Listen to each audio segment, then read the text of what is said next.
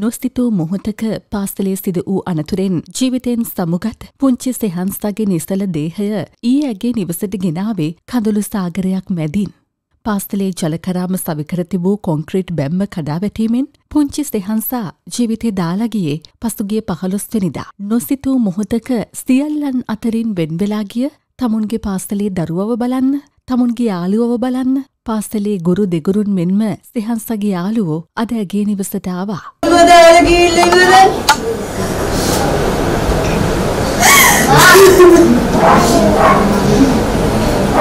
එයාගේ දෙවිනි අයියා එයා එක තමයි ඉස්කෝලේ හිටියේ. ඒ ඉස්කෝලේ ඔව් දෙවිනි එක්කෙනා කියනවා නංගිව මම නැති වෙනවා මේ මට අඬ ගැව්වා නංගි අයියේ කියලා දැන් මට ඉස්කෝලේ යන්න බෑ කියනවා ඉස්කෝලේට මට යන්න බෑම කියලා කියනවා සර්.